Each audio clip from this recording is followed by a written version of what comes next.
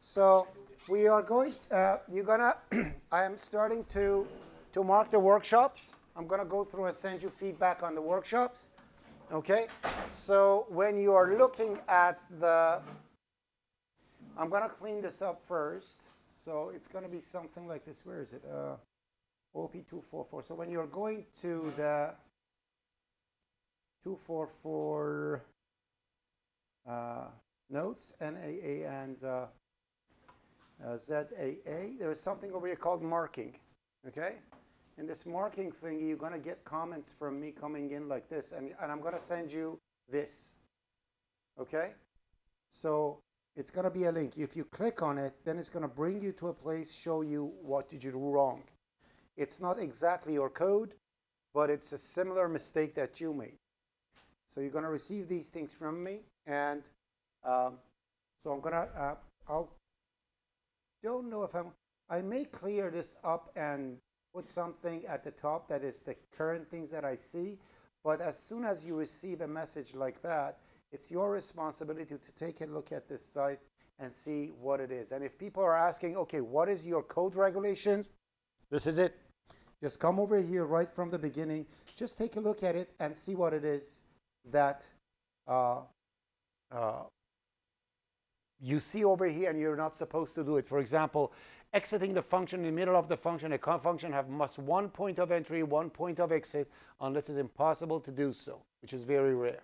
So it means you should not have a return statement halfway through a function. Or even more than one return statement in a function. A function must have only one return statement. So that's the thing. This is how it is. This is the fix. So you will see exactly what how the fix was done. Uh, and the next one, friend helper functions. If you see you don't understand what it is, it means you still you haven't studied it yet. Just go to next one. But every, if you go through all these things, these are all the feedbacks that I've sent through past two, three years to students. And anything that is there, you're not supposed to do. so that's that. Having said that, let's start. We talked about uh, um, uh, student class and we created a student class with a no argument constructor or what we call it the default constructor. And also we created a destructor and we explained that uh, a constructor by definition is a procedure. It's not a function. It's a procedure that will be get called or will get called automatically when object comes to life. As soon as the object comes to life automatically a constructor is called. So you can clean up your uh, class. Therefore, when your class is born, you have a fresh setup class that you can use it safely. And the allocate happens, the, the destructor uh, that uh, the syntax is a tilde and the name of the class will actually get call, called right before the object is about to go off scope. So right before the object is dead, you want to clean up stuff, that's what you do. You call that one. You call tilde thingy. Okay, so we went over there, so we explained all those things. We did a dynamic student over here with a name, student number, and the deallocate method went to the private part because we don't want anybody to be able to deallocate it unless us. So that's the private part. They not they don't have access to it, but all the the, the properties of the function, all the methods of the function have access to that uh, private member, and therefore they can actually use it. We said uh, for a class to actually uh, be used, you should always recognize, be able to recognize its state to see if the class you have is a valid class or it's a class that is invalid and cannot be used. We said that we do that by setting the properties. When I say properties, I mean attributes, I mean member functions, member variables. Member variables, attributes, or uh, uh, properties. These are the three things. They, are, they all mean the same, okay? Property, attribute, member, variables. We set the member variables to some specific impossible value, so later on we can actually recognize it. How do we do that? as you see over here in the constructor, I'm setting the name to null and student number to zero. It is impossible for a student's pointer name to point to null because that means there is no name, there is no dynamic memory allocation, therefore that's that. To do that, it's a good thing to actually have something like set empty to actually set the class to an empty state. So, so you don't so you don't have to think, what was the rule that I want to follow? I wanted to set that to minus one. You don't do that. You put it in there so when you are actually using it, you don't, uh, uh, you know it's a standard thing and it's going to get followed. So instead of actually doing that, I will put that in the function and call the function instead. And at any moment that I want to actually set it empty, I will do so. So it becomes a recognizable state for the class. And therefore, if I want to recognize it, then I will create a function called isEmpty that is going to tell me if the object is empty. I make it constant because I don't want to change anything. I just want to see what the state of the object is. And for that, all I need to do is to check the things I have set in the set empty. So let me just go back in here because uh, where is the thing? I think um, there you go. That's set empty. Let me just come in. Where is is is empty is here. So it is impossible for the name to be set to nothing. So I can simply say over here, um, name being equal to null PTR means it's an empty thing. Now I can recognize to see if the object is empty or not. Therefore, in my if in my deallocate, I don't need to set m name is null PTR anymore. What I do after I delete, I'm going to say set empty. I reuse my code. Therefore, if the business logic of mine dictates that is an empty state is something else, I don't have to go change 50 different places. I simply go to my set empty and reset it to what it's supposed to be done. Always do that. It is extremely, extremely important. Now, question may rise that, hey, deallocate is always called at the uh, end of the lifetime of the function. Why are you setting it to empty? If that was the case, you're right. We didn't need to. But because deallocate is a function of its own, and later on we're going to learn that we might need to reallocate and set the student's name. Like a student name is Fred Soleil, but he wants to be called Freddy too. Therefore, you want to say Fred, Freddie Soleil. You want to change the name.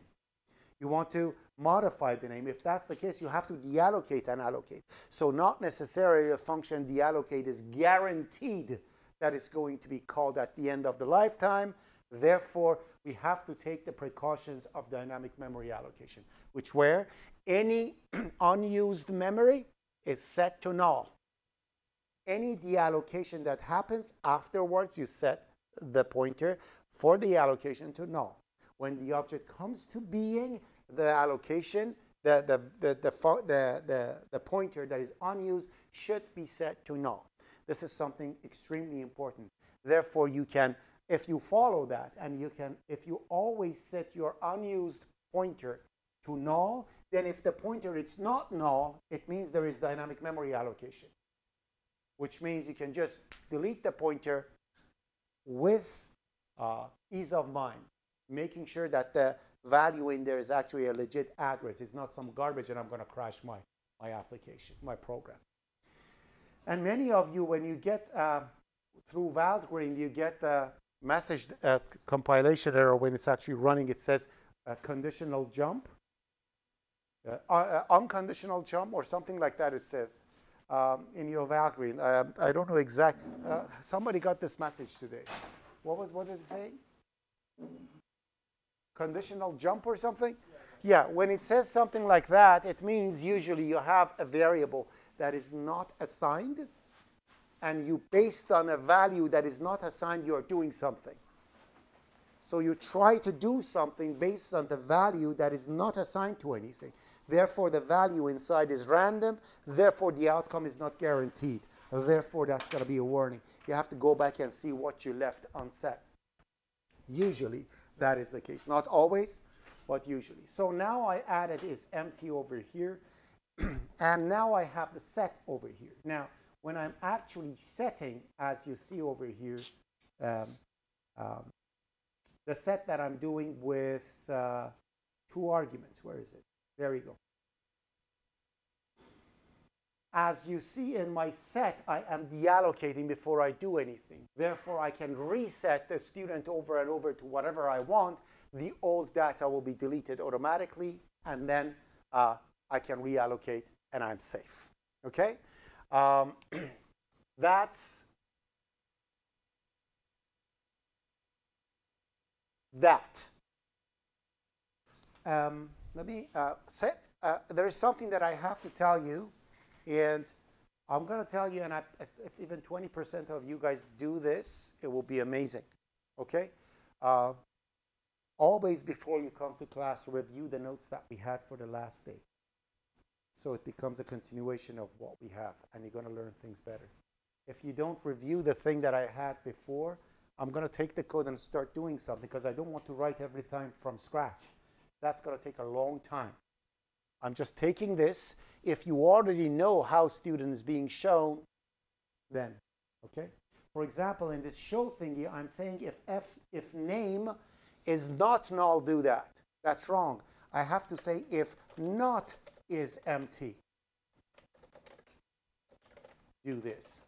So I'm reusing my code. Remember what, I, what we said? If not is empty, then show the student, otherwise the object is invalid. there is something that you need to understand about the empty state of an object. The correct way of saying it is invalid empty state. Sometimes an object can be empty and completely valid. Like you are creating a container. I'm creating, I'm simulating a coffee cup a coffee cup that doesn't have coffee inside, it's still a valid thing. It's not an invalid object. It's just an empty cup. Correct? It can be used.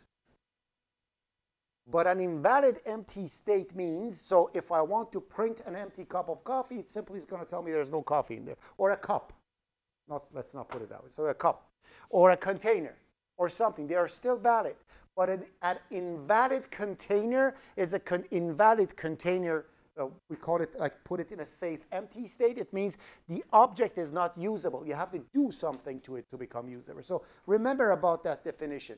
They are very uh, close to each other, and sometimes they get mistaken. Okay, so you have to always see if my empty state is an empty state or an invalid empty state. Sometimes it's not even mentioned. It's your choice to do it so or not. So going through this, in a constructor, I'm setting the student to empty in a default constructor. So a student that is getting created just like that is an invalid is in an invalid empty state. I have to first set it to be able to use it. Okay? That's that's the constructor that we have. And then I have uh, a destructor over here that destroys uh, the student by deallocating its memory. The set function with two parameters receives a name and a student number and first deallocates uh, the memory and then it resets the memory to the name that is coming in, copying the name from uh, wherever it's coming through. So, um, and, um, and, uh, and it sets the, the, the, the attributes of the, of the class. And we set every class that you create, all the attributes, uh, all the attributes of the class should start with M underline. So remember that, M underline. different standards, different places, like uh, many places, they, many companies and stuff, they say when you are creating an attribute, it should be with the initial of the class. So it becomes S underline name, S underline student number. Okay? In our thingy, it's all M underline. Okay, and, I, and I'm hoping that all the professors designing workshops will do the same. But if you see they changed it, don't worry, it's just a, their style, okay? But if it's not mentioned, do it that way. Yes. As a question for line or constructor and constructor, since we will not call them their address position, can we just put them within the private, private, uh, as a private member. A constructor as a private member? Yeah, contract. Okay. Uh, you are not calling the constructor. That's absolutely right. But constructor is called because you created the object. If you make the constructor private, then you cannot create the object anymore. Sometimes we need that. You will see later in the semester, we'll find out that sometimes, for example, a keyboard. You want to create an object for a keyboard. A keyboard has keys over it, correct? Can you have an individual key somewhere of a keyboard? No. A key for a keyboard only exists on a keyboard. So if I am to create two classes, a class for a keyboard and a class for key, so my keyboard becomes an array of keys. If that's the case, then the key itself should not be able to get instantiated. You should not be able to create a key unless it is in a keyboard, correct? For that case, you make the constructor of key private and make only keyboard have access to it. You'll find out how. Therefore, only a keyboard can construct the key and no one else. For that case, your thing is valid. But for our case, at our level of knowledge, all constructors and destructors are public. If you make it private, you cannot create it anymore. No, I mean, like, just take a look at it. If I just do it like this, okay, take a look at uh, the main.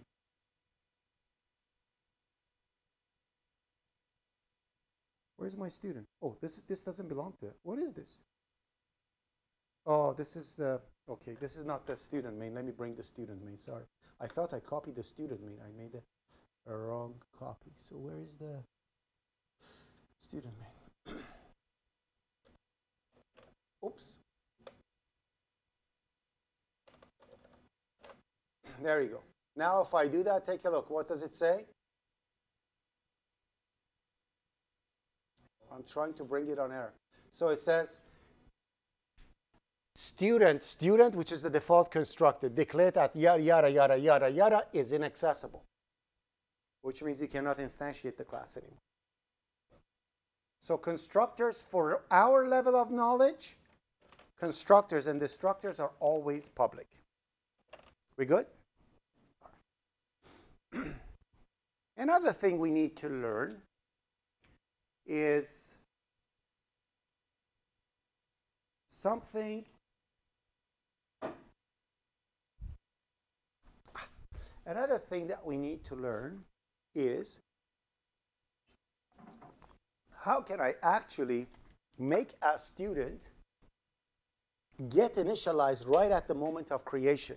Why do I have to first create a student and then call it Jack? If I don't want to get the information and I know I want Jack Smith to be the student, I want to create a student named Jack Smith. I don't want to first create a student, then set it. How do I do that? With a constructor that has only one argument, okay? Because it's only one name. Those type of things, one argument constructors are special ones. I'll tell you why.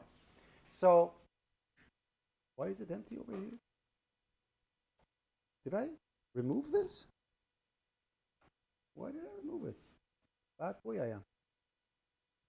Okay, so a one argument constructor, it is created as you know, so it's constant character pointer name. There is no problem. So it's a one argument constructor that you create. And with this one argument constructor, you do whatever you need to do. So I'm going to put over here, uh, what do I do? What do I do? What do I do? What do I do? I'm going to say um, student, student, and I'm going to put over here constant character pointer name. Now I have to set the student, right? I don't want to write another code over here, so I'm going to use the knowledge I gained at the second week or first week. That was default value for arguments. And in here, I'm going to put an equal to zero. Okay? Which means if somebody actually wants to set just the student name with nothing, the student number will be zero by default. So I'm going to come over here, and because that's now set to zero, it means I can call the set without any uh, without any uh, what should we call it? Uh, without any um, student numbers and only with one argument. So in here, I can actually say set name to set the thing. There is a problem over here, though. I specifically wanted to do that to tell you reusing code needs caution. When you call the set, what is the very first thing that happens in function set?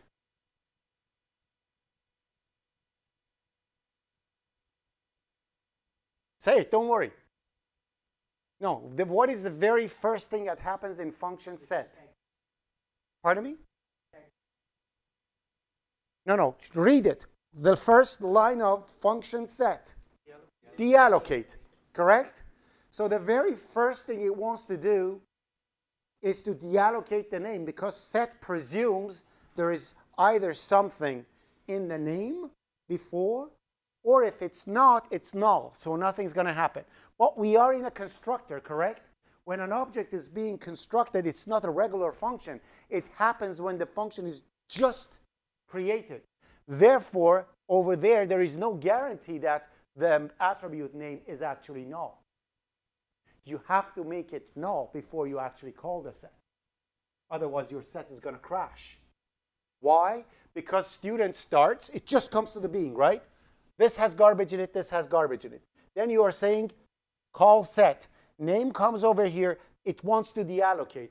And as soon as it wants to deallocate, what it does is delete name. You had garbage in name. That garbage is an address, someone's memory that you are trying to delete. So if you are doing that, you have to flag this thing, make sure to understand that it's, uh, tell it, uh, make sure that it's not null. So you have to actually put over here null PTR. Prepare for set function. So reusing code is not all that, all that easy. Sometimes you need to think a little, okay, to make sure that what you're doing is not going to cause trouble. Uh, obviously, student number, I could set it to 0, 2. So that's one way. That's one way to, is to do that. Another way is actually to make sure everything init is initialized within your class. So if I actually do this, it means no matter how the constructor is actually called and created, these values will be empty. Which means I don't even need to write set empty in here anymore. You could do that. You could actually make the student attributes get initialized when the student is getting created by doing that. We're not doing that now, just letting you know that you could do that. That's the safest way to, to, to initialize things. There are so many different ways.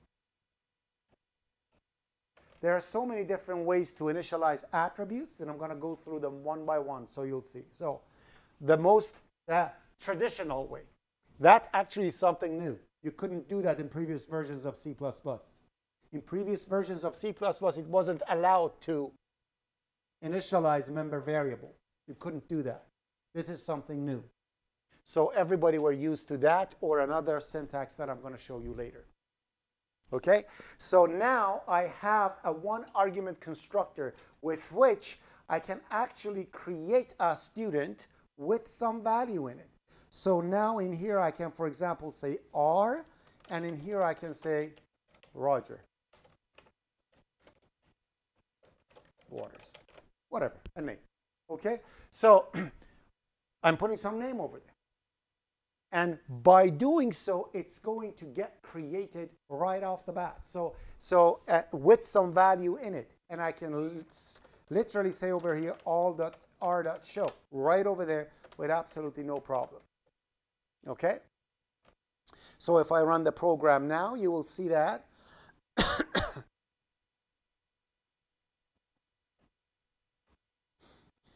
it will be called, and as soon as I go through it, you'll see that the first one is going to the default constructor. That's S is getting created, and it sets it to empty.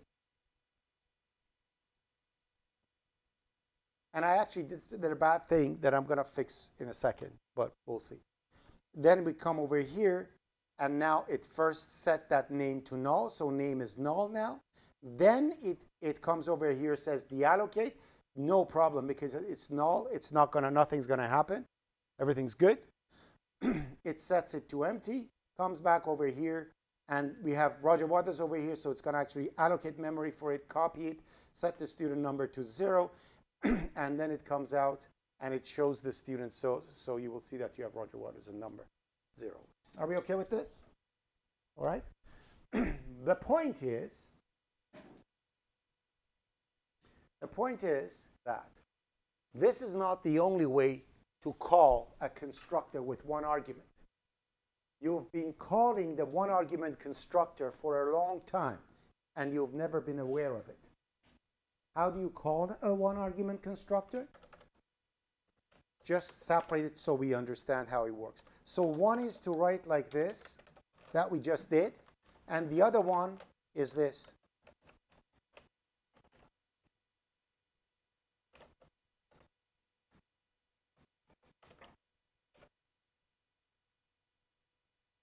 Initialization. So when so for example in here, do I have a loop anywhere? Any? I don't have anything. So if I want to set an integer to, to say 100, I can say integer i 100. It's the same thing as integer i is equal to 100. They are the same. In C++ and not in C. In C++, initialization is calling a one argument constructor. Okay? So at line 9, I am calling the one argument constructor of 100, of, of i, and set it to 100. Got it? Okay. For line number, um, It's the same. the student number will be like zero or, or undefined. It's going to be 0, not undefined. We just wrote the code for it. We just made it 0. We just made it 0 right over here. Remember?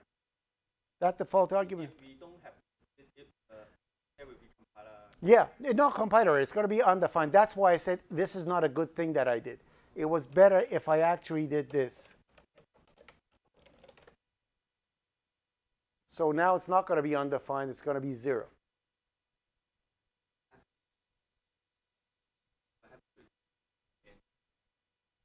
No, no. It's as I, as only one argument constructor, and that's it. Okay. Of course, we can have a two-argument constructor with absolutely no problem.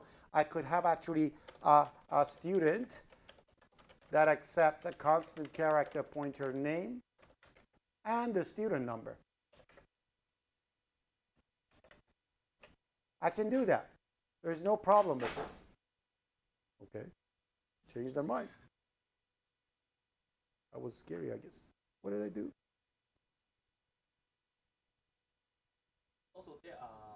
Oh. constructors. So what will see of computer uh, execution? What do you think? I'm not going to answer that question. Because the question is obvious. What is the sequence? It depends which one you call. How do you create your object? If you create object with no argument, no argument will be called. If you create the, the, the object with two arguments, the two argument will be called. There is no sequence. Whichever you call, that one's going to get called. Whichever you call first, that one's going to get called. For them, just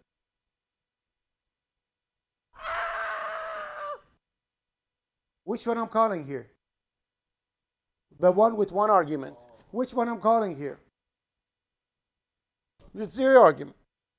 You don't call it, but it calls the proper one for you. Okay? yeah, of course. By initializing, I'm, so I'm saying when R is created, I'm going to give it one value. What does it mean? One argument constructor. Now in here, where is it? Oh, so I want to, so I'm going to, I'm going to say over here set empty. And in here, I'm going to say set name and student number, right? So I'm calling the one with two. So now in here, I cannot do that anymore. I cannot use an assignment anymore. You follow? assignment cannot be used anymore. So in here, if I want to say student T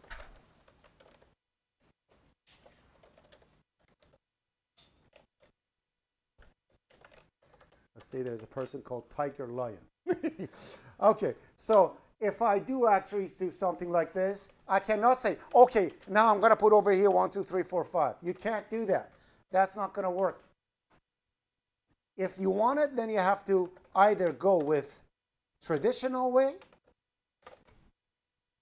or you have to go with the universal way, which is this one.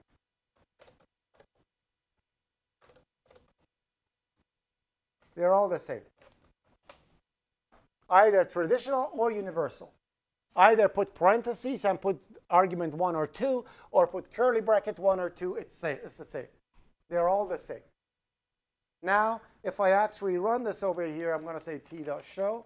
And just for you, because you, you, you're not going to think that the first, that one, the second, I'm just going to put that one first.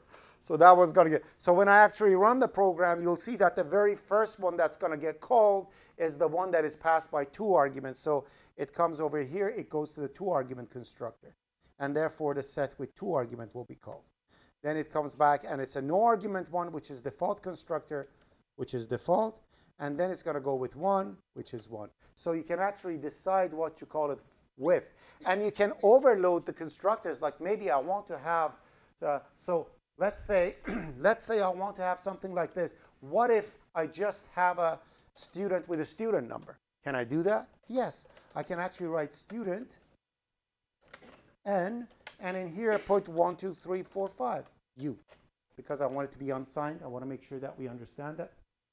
What's going on here? Capital U? Oh, because there's nothing over there. So now if I want to actually create that constructor, I have to say student, student, unsigned, int student number. And in here, for example, I will say set no name and STNO. And stu dent. I think that's good. The second one too? No. Stew, stew, dent. Okay, good. All right. Is it correct? So why is it giving me error? Because I didn't create the prototype for it, that's why.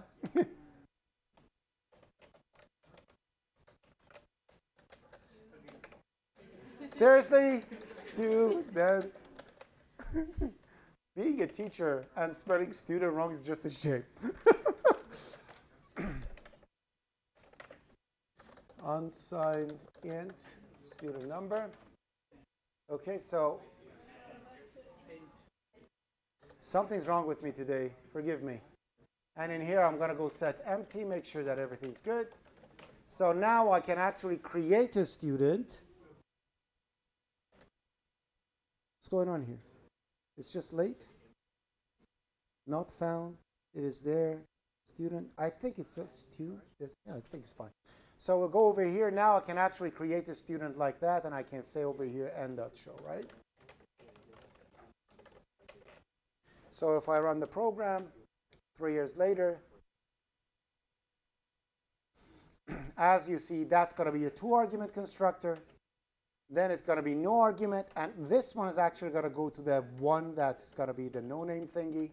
And when it calls, those three things are called and no-name student number one, two, three, four, five. Are we good? Yes, sir. Yes, thank you, thank you. So now I could have it like this.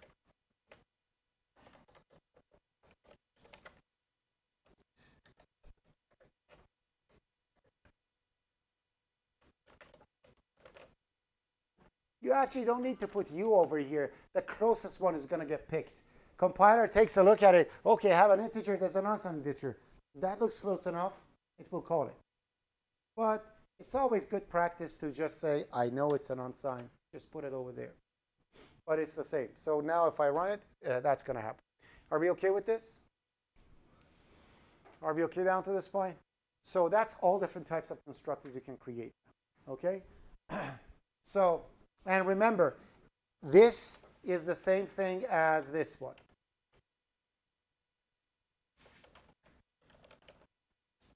So the universal way of initialize, initializing works for all of them. That works perfectly too. That is the same as, as the first one. So one argument, one argument, one argument, all the same.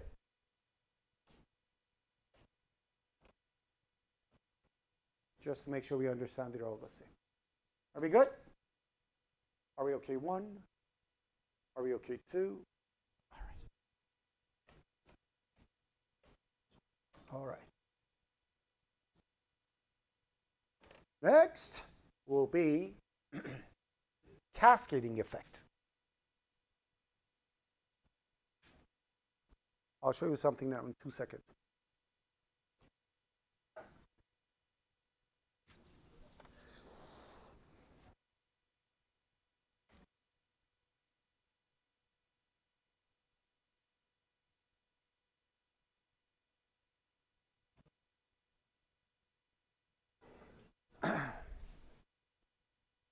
Attention, please. This is my friend's cell phone, right?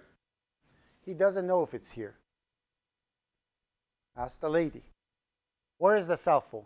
What she's going to say, in this room or in room 570? In this room. Why? Because they're both in here, right? So that's what we have that one in C++. In C++, you can refer to the place you're in. You can refer to its address. And that's called this. Okay? So, just to show you, like in, I know it's nuts, completely absolute banana crazy type of thing. Say in here I have, I'm going to give you some examples. So let's say in here, for some reason, I'm nuts enough to put this one m name. So I have the variable, the argument name m name, and I have the attribute name m name too. Got it? So this is the m name in this function, and I have an m name in this class too. How do I differentiate between the two to know which one is what? Okay, um, uh, that's not the best place to give example. Let me just put it in here. So we are doing, I'm going to go into this here, m name. There you go. This is going to actually create lots of conflict. So you don't, if I write m name over here too, how does it know which one is the argument and which one is the classes?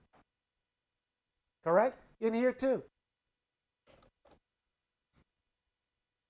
How does it know which one is what? Correct? If I want to tell you, hey, I'm talking about the M name of this class, I can actually say this class's name and this class as M name. Never do that, ever. Ever. It's just for example purposes here. Okay? Because you will forget this, and it becomes the worst bug you've ever had in your life. Because you look at it and you can't see what's wrong with it. Okay? Be extremely careful. All right? So, yeah, this always. So, this is just. So, I'm going to say never do this. Never do what I did here. Here with this. It is for example only. That's why we call the attributes M underline because I want you to put the, the, the arguments a proper name. If you name the attributes name over there, then you have to call this one NME, something to make it different, right? When I asked you to specifically add a prefix to the member variables, it makes the name different without changing the name. Got it? All right. But that's not the only thing that this can do. this holds the address of the current object. Obviously, in main, I cannot say this because main is not a method. What is a method? What is a method? A member function. Name is uh, main is not a member function. Therefore, I cannot use this in it. This can be only used in a method, in a member function, because those are the ones that belong to classes, right? this holds the address of the current object. If I want the reference of the current object in a method, how do I refer to it? Target of this asterisk this. Okay? Target of this. So, for example, in here, I'm saying set, right? In here, I'm going to say return. Take a look at this. I'm going to say return student reference.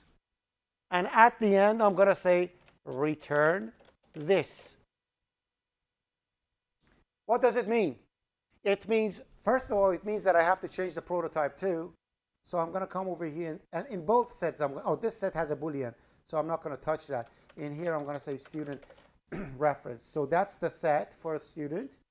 So I'm saying set will return the alias of the student itself.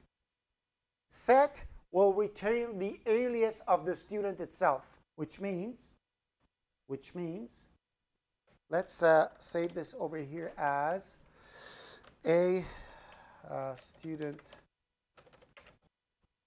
main.cpp. I just want to clean it up so we don't have too much of stuff over there. So go, I'm going to take everything out over here. So let that tiger line be there. So now in here I can say t dot set to Fred. Soleil with student number 34567. And look what I'm going to do. Dot show. You see what I did? What just happened? Let's split the window. Set is returning the reference of the current student. Set is returning the reference of the current student. What is the current student? T. So set becomes the new name of T. Therefore, you can put a dot beside it and show it. You don't have to go to next slide. Got it? Easy breezy, right? Don't go like that. It's very obvious, right? so let's take a look. If I run it, for the first one, it looks good. Let me just take this out, bring it over here, and bring this one over here. So, so it goes over here. We know that it's going to set it and it's going to show it, right? Then we're going to go in set in here. So first t dot set is called. So it goes in here, gets the Fred Soleil over here, and puts this Fred Soleil over the name that is null because we just deallocated it, and then sets it. So now it becomes Fred Soleil and then student number will be set to whatever it is. Then it returns the reference of this object. Therefore, when it comes back in here, now show of that one will be called, which is the show of Fred Soleil. Got it? All right. This reference stuff, not only with this, but it's very useful. And I'll tell you why. So We okay down to this point? What is C out made up of? What is the object C, what is the class C out is made up of? We talked about it, didn't we? C out is made up of, so they are both in iostream.header, uh, iostream header file, right? We said C out is an instance of iStream, right?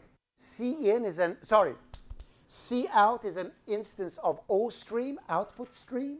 C in is an instance of I stream. Remember that? Remember that? Okay? So in here, this show thingy that I have that is doing C out, I can do this. Take a look. I can say O stream reference. And at the end, I can say return C out. Because C out this stuff type O stream, right? Let me go back in the header file and change that too. Where is it? Where is it? Where is it? Where is it? So this one becomes O stream reference. Because now I'm using O stream in the header file, I need to include it.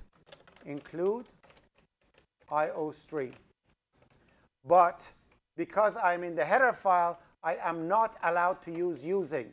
I cannot say using namespace std. Not allowed here. It doesn't give you a compiler. It's a huge logical mistake.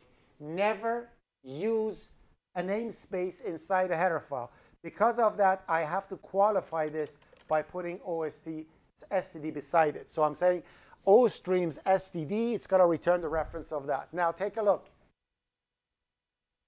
So now, the show that I have, I don't need to put new line after, which I shouldn't actually. Why? Because sometimes I want to show a student and something right after it. If you do a new line in the show, then you have no chance to show anything in front of it. It's going to go always to red. Like if you want to have a list of students shown and in a table, it's impossible because it's going to go to next line. You want to choose to go to next line. So I remove the and, and L over there, and now when I'm actually when I actually want to uh, go to new line, because show is returning O stream, I can say and L.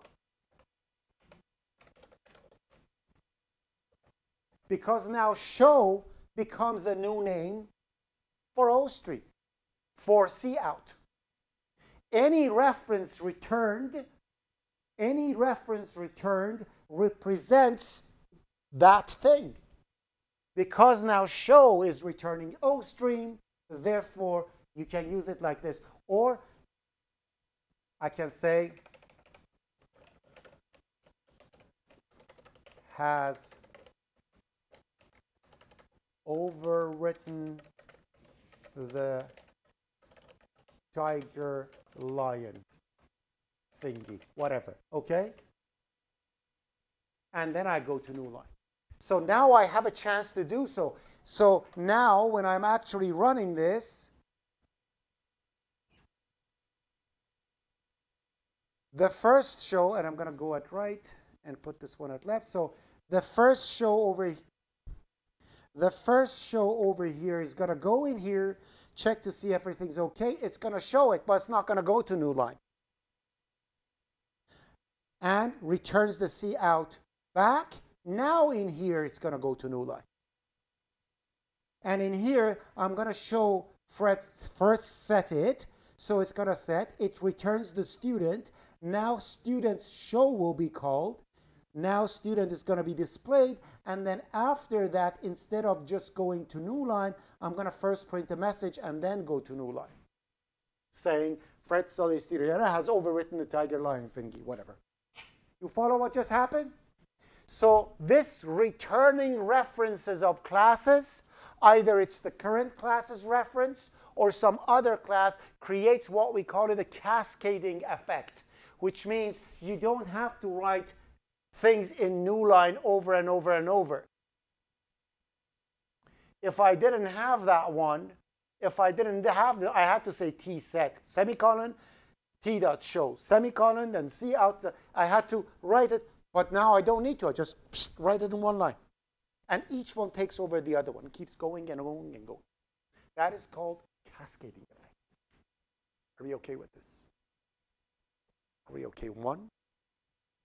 Are we okay? too? Are we okay? All right. And we're going to do lots of beautiful stuff with these. Like with these, with these features of C++, you're going to create custom types and make your custom types work like an integer. As if you're dealing with an integer. You create an employee and you work with the object of employee as if you're working. Like if you want to add salaries to it, you say employee plus equal 10,000. Automatically, it's going to add. So you can change everything in C++. Because it's an object-oriented language, you can overload everything. Everything can be polymorphic. A plus equal for an employee means add to its salary. A plus equal to an integer, it means add an integer. A plus equal for a string means concatenate two strings. So again, you can do many different things as we are going to go through all the good things we are learning. Questions?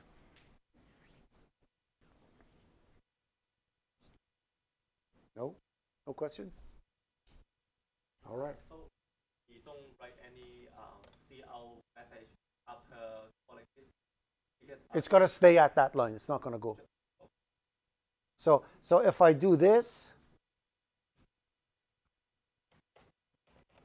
okay, then I have to write C out over here, right? So first it's going to show, and then it's going to go to C out. But C out show was returning C out. So if we just write a new line on uh, C out and then semicolon, it won't cause any issue. No, it won't cause any issue. It just it just not goes to new line. It's as if you write this. Will this cause any issue? No. it doesn't it just doesn't do anything. You just said C out. Right? It's like it's like you say, it's like you create integer i and they say i. That's not a wrong thing to do, but it just doesn't do anything. Okay? It's an something that has no use. Are We okay? Are we okay? So having said, having done this, to just demonstrate again to you how things are going to happen, I'm going to start developing something new. Okay? We're going to start developing something new. Uh, we're going to start creating a class called string. So you don't have to, to write the string header file. You can actually use that one instead. Okay, so we're going to do something like that. We're going to actually create. All right, uh, but uh, and and we're to make it better as as we are going forward, and we're to teach new stuff, with, so we can see actually how it, how it works. Any questions down to this point? One thing I wanted to tell you, like for example, um, um, uh, what's the time? I can give you a break. Let's get a break and then come back, and then we'll continue. So please uh, remind me to resume recording. To me for a second about workshops. I keep getting these questions.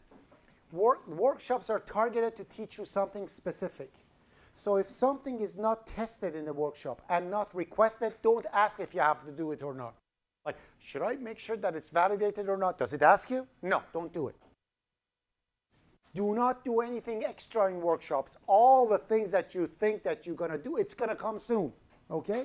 So we are trying to target only one thing in a workshop and go with that only, please. Now, next thing I want to tell you, how to reuse your codes from workshop to workshop to project and so on and so forth. How do we reuse our code? This is a good way of using it. It's not the, the best, like it's a better way, but this is one way that teaches you many things. Create a class called utils for your utilities. And as you see, I have these two over here at left and right. The, the usual thing, it's a module, it's utils. For example, I want to get an integer in here. Okay, I want to receive an integer from the user. So I'm going to write a foolproof integer getting program in here and use it somewhere else. So how do I do that? So I want to get an integer. So how do we do that? We want to, so I'm going to write different versions depending on what I'm going to use. One of them is going to return an integer. So it, and I'm going to call it, say, get uh, int. I can change it later on, but for now, okay? When you get an integer, usually you want to show a prompt, correct? So in here, I'm going to say constant, constant character pointer prompt. So I'm going to show a prompt. When you get an integer, usually you want to have a limit between this and that, right? So I'm going to say int min and int max. So that's what I want to, to do in here, okay? Are we okay with this? All right. So that's one. Immediately, I'm going to say integer value. And I'm going to say return int, return value. That's my first function. Ta-da! Second, I want to just get an integer. No, no max, no min, nothing. Just a valid integer. How do I do that? I'm going to call it int, get int. I'm not going to pass anything to it. And in here, I'm just going to have integer value and return value. So let's, because I'm just coming, quite frankly, I'm just coming up with it right now. Because every single time I write it differently, now I'm going to do it like this. So first, let's write something that gets an integer and makes sure that the integer is a valid integer when we are getting it. How do we do that? I'm going to say over here cin. As soon as I said cin, I'm going to go up in here. Oh, I need cin. So I'm going to come back, come up over here and say include IO stream and IO stream, and I'm going to say using namespace. Pardon? Excuse me? Oh, I'm doing it in .h file? Okay, I'll take it out. Two seconds. Believe me, no sweat. There you go. So it's in utils class.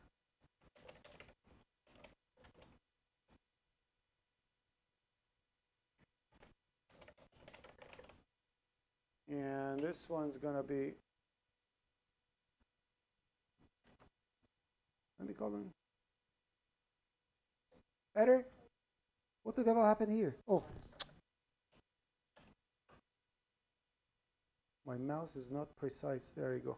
That's better. Better? Are we okay? Okay. So in here, I don't need it actually. I, you're absolutely right. I'm going to put it over there. I'm, I'm going to put it only if I need to use it, that's all. And always, uh, library header files come first. Don't put the thing at the top, okay? So now I'm going to say cin into value. So let's first get the value.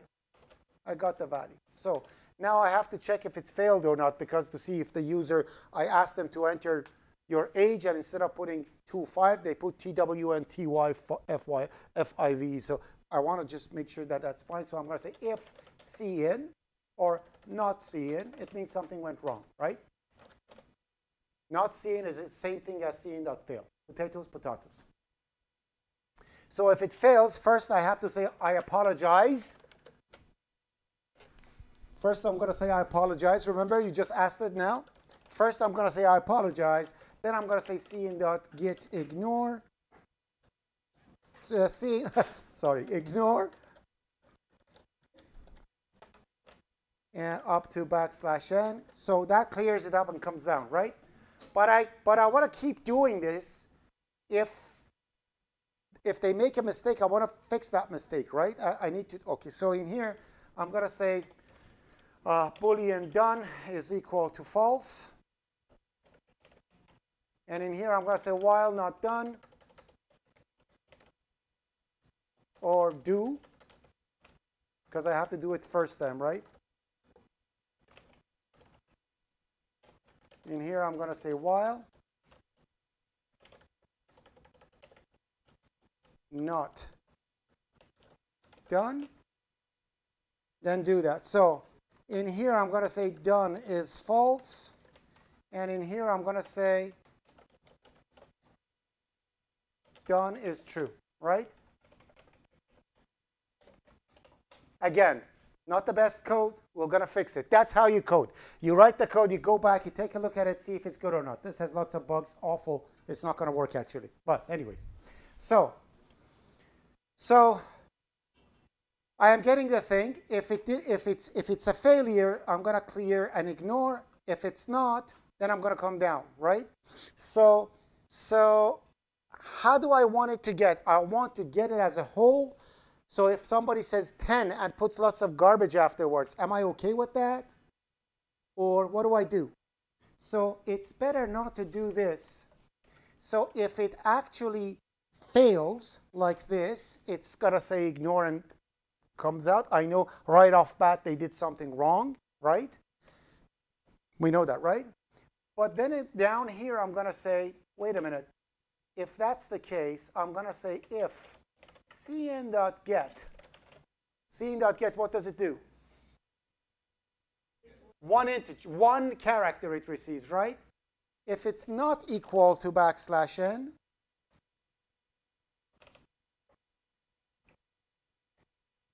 it means they added something after the integer, correct? Some garbage is coming after. I, so I do the git ignore over here, not there.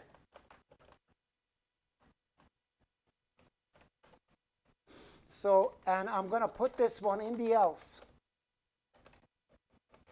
So, let's see what happens.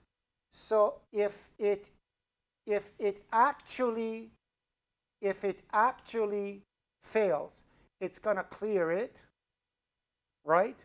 And nothing comes out, so we are, in, we are doomed. It's going to go back up. Didn't clean anything. So I'm going to remove this one and put it over here. Good. So now, if it fails, it clears it and ignores everything up to backslash n. We're okay, right? And in here, if, if it doesn't fail, it comes in here. I'm going to check, is the other one backslash n? If it's not equal to backslash n, done is false. I shouldn't, I shouldn't keep going. They still did something wrong, right? That's a new version of false else, okay, and in here I'm going to say true, right? But if it's false, if it's not equal to backslash, and then I have to say over here, C out only an integer, please. Retry. Right?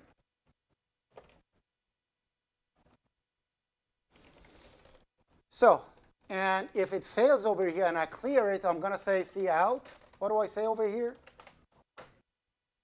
I'm going to say invalid integer. Retry. Correct? So now let's see what happens. This ignore over here is bothering me. Okay? So if it fails, it's going to clear it. I have garbage in there, right? It comes out, comes over here, ignores. We are good, right? If it doesn't fail, comes over here. If it's not equal to backslash n, it's going to say something is there. Because it's not backslash n, it means there is garbage. Then it comes over here and clears it, and it's good, right? In here, it says, but if it doesn't fail, it comes over here. It is backslash n. Done is true, correct? Because done is true, I don't need to ignore anymore. So I have to say over here, if not done, ignore, correct? I think that's going to work. So walk through everything. It makes it false, comes over here, reads the value. Let's, three different scenarios. Number one, right off bat, everything is wrong, right? That's false. It comes over here, clears it, prints the message, comes down over here. Done is false, not false is true, ignores everything, goes back up. Good. Number two, they enter something, it doesn't fail, but they put garbage after. So it comes over here, reads one character, and it's not backslash n. Again, done is false, right? Which is redundant. It was false already up there, so I need to remove it. And it's going to say only an integer, please. Retry. Comes over here, done is false, ignores the garbage and everything, goes back up and gets it, right? Three, everything's perfect. Only one integer. Comes over here, reads it, perfect. Comes over here, reads one, it is integer. Comes over here, makes done. Comes over here, ignore will not happen. Comes out and I have a value. So I just wrote a get int that looks okay to me. Do I need to implement the other one now? No, not yet. Just want to try this one. I'm going to go in that PRG thingy of mine. Just a second. This is the important part. So in here, I'm going to say b dash student main.cpp. That's the main we, we wrote for the other one. Now let's come back over here. How do I make this thing available in here? I have to instantiate utils to have it over here, right? And obviously, I have to make this public. I don't have any properties. No, no properties are needed in here. Do we understand? I have to instantiate utils. That's awful. I don't want to keep instantiating utils. Utils is something like cout. I want to have an instance of it available if I include it. That's it. You follow what I'm saying? I don't want to keep, you don't want to keep creating a ostream whenever you want to print something. You have a C out when you, have when you include the thing. How do I do that? Easy. I instantiate the utils in the CPP file itself. So in here, in here, I'm going to call it utils, let's call it U, capital U. So capital U for me is like C out, correct? Are we okay with this? Problem is that this utils is this utils u is only available in file utils.cpp, correct? Correct? If you have a function, forget about C++, let's go back to C. When we had a function inside a file, we want to make that function available in other files. What did we do? We had a header file. What did we put, what did we put in a header file? prototype of a function, correct? We can actually put a prototype for a variable to make it available everywhere if it's a file scope variable. So this is a file scope variable, not a global variable. This is file scope. Now, if I want to make this file scope variable global, I'll go to the header file in here, right at the bottom in here. I'm going to say, I have a utils utils u extern. That becomes a prototype for you in utils.cpp. Therefore, that u, that u becomes available any place you include utils.h.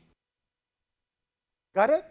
So in IO, in, in IO stream, they actually have extern O stream C out extern, iStream, in, So you can use it everywhere. So that U is instantiated in here, and I'm using it there. Nice. Let's see what I can do. So I'm going to come now in here. I'm, I'm going to say include. I don't need any. I don't need those things. Um, I don't need a student. So in here, I'm just going to say include. I see people are talking. Don't do that, please. don't do that. OK. Utils dot h. Okay.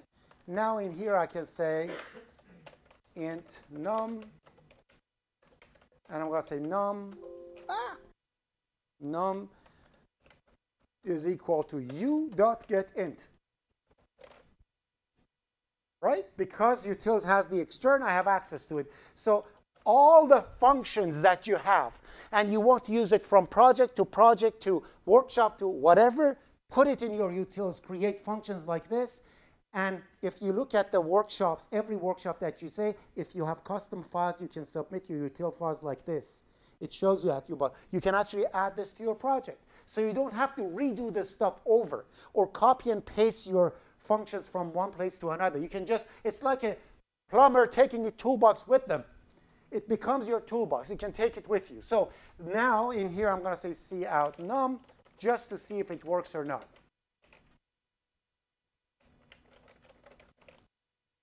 All right, run it.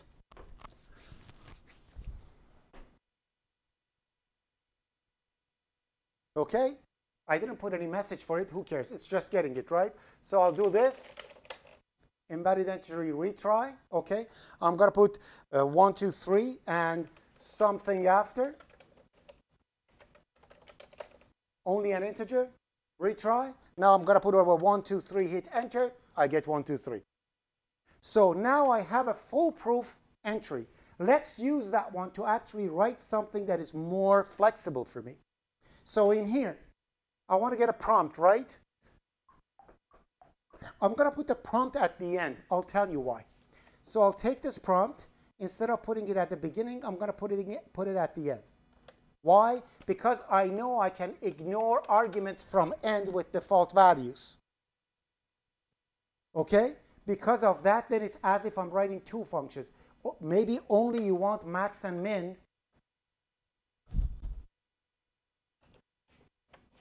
So in here, constant character pointer prompt, prompt, and I'm going to set it to null PTR. So if they don't provide it, that pointer is going to be pointing to null, correct? We're good? So in here, all I need to say is if prompt exists, first printed.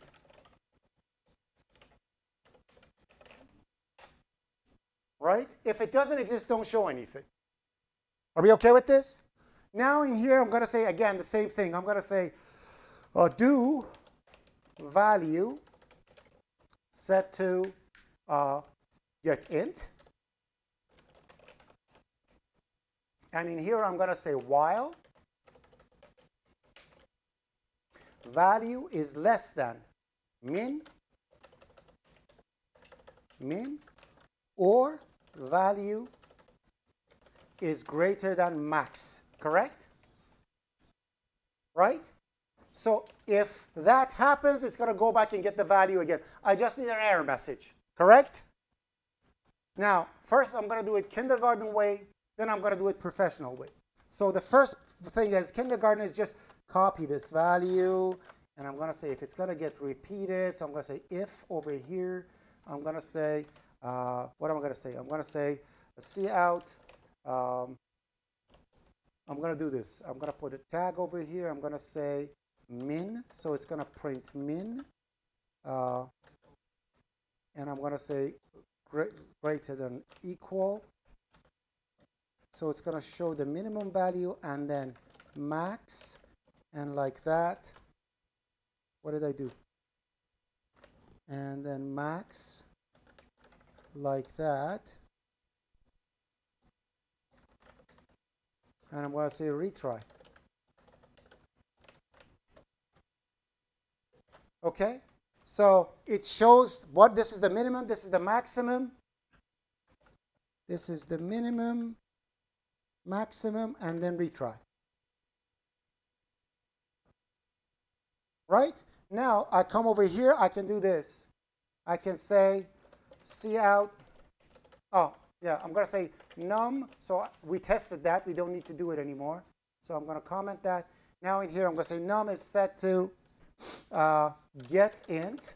And in here, I'm going to say, say, uh, 18 and 100.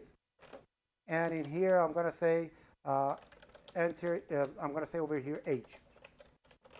Something like that. Are we okay? Why are we getting error?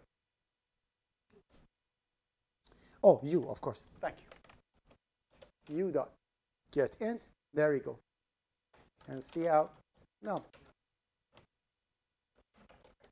right? I run the program. It's going to tell me age. If I do like this, it's get int working.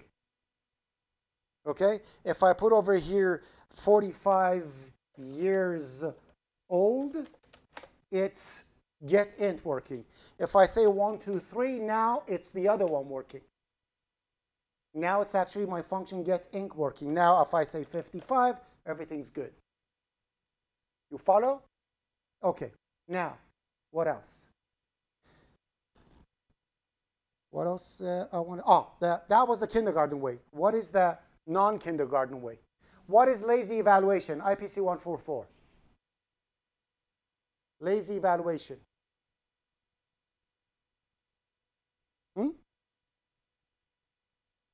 Put a what? Flag. Flag. Oh, yeah. Yeah, but what is lazy evaluation? Anybody knows what is lazy evaluation? Not, oh, you said lazy like, no. A lazy evaluation means C plus C language is, is lazy. If it comes to a conclusion of a logical operator, it's not going to check the rest. Remember that, right? We talked about it. So, and I think I, was it here that I drew the thing, the circuits with the lamp and stuff? I didn't do that. Um, do I have a marker? I don't think I do have a marker. Oh, I do have a marker. Perfect, fantastic. And I do have a marker. Let me see if I have. Uh, oh, can I bring it here? Yes. Good. So, so this is. I want to know where I can write. okay, so take a look at this. So this is a bad marker. Uh, I have more. I have more. Okay, so this is a bat. This is a, a circuit. So this is a lamp. Go like that. Comes over here, and this is a battery. And in here, I have two keys standing like this. Okay. For the light to go on, what should happen with those keys? They both should be closed, right? It is impossible for it to work if one of it is open. Now, if the first one is open, do you care if the second one is closed or not? No, because it's closed. It's it's it is open. It won't happen. Nothing happens. That's lazy evaluation. So if you say condition and something, this is by the way and. This is an and. Okay? So in your condition, if the first condition is false and anything else, it doesn't care. It's not going to check it. Same thing happens with OR. What is OR? OR is the exact same thing, but it's like this.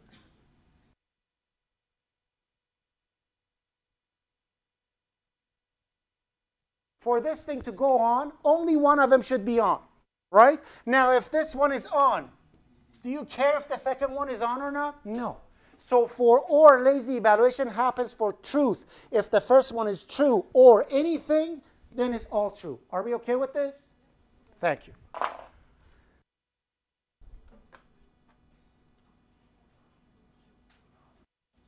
You see this C out? You see that C out? Look at this. I'm going to remove I'm going to remove this completely and say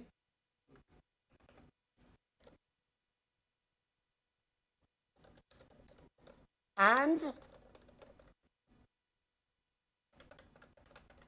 C out. What's going to happen now? If the condition is true, it means while loop must repeat, correct? True and it has to check the other one to see if it's true or false. So C out will be printed. Therefore, message will be printed.